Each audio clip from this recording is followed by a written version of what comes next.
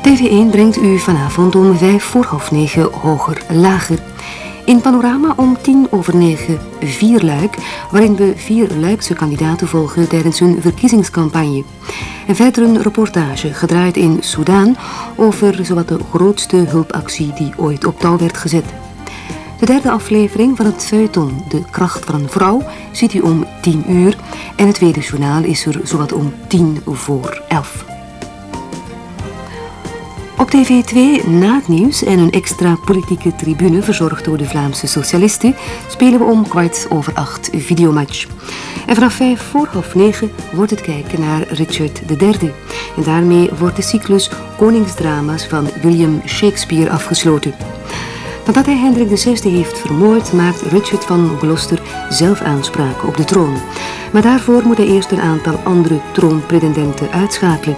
En om zijn doel te bereiken deinst hij niet terug voor list en bloedvergieten, ook al rijst er verzet tegen zijn bloederig optreden.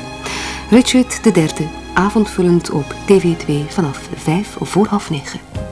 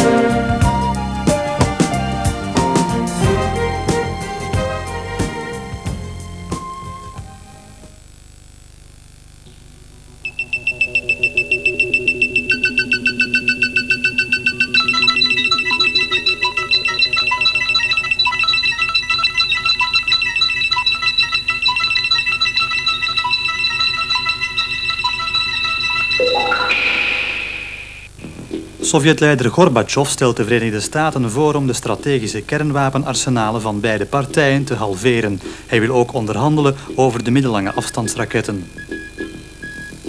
De organisatie van het pausbezoek is afgesloten met een overschot van 28 miljoen frank. In Gent is een computer voorgesteld die spraakgestoorden een elektronische stem geeft. In het sportnieuws een uitgebreid overzicht van het Europees voetbal van gisteren.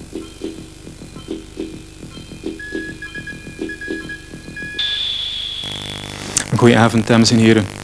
Sovjetleider Gorbachev heeft op de tweede dag van zijn bezoek aan Frankrijk een drietal voorstellen gedaan om het kernwapenarsenaal in de wereld te beperken. Hij deed die voorstellen in een toespraak tot het Franse parlement. Gorbachev zei dat het plan vorige week aan de Amerikaanse president Reagan is overhandigd en sindsdien ook besproken is op de ontwapeningsconferentie in Genève.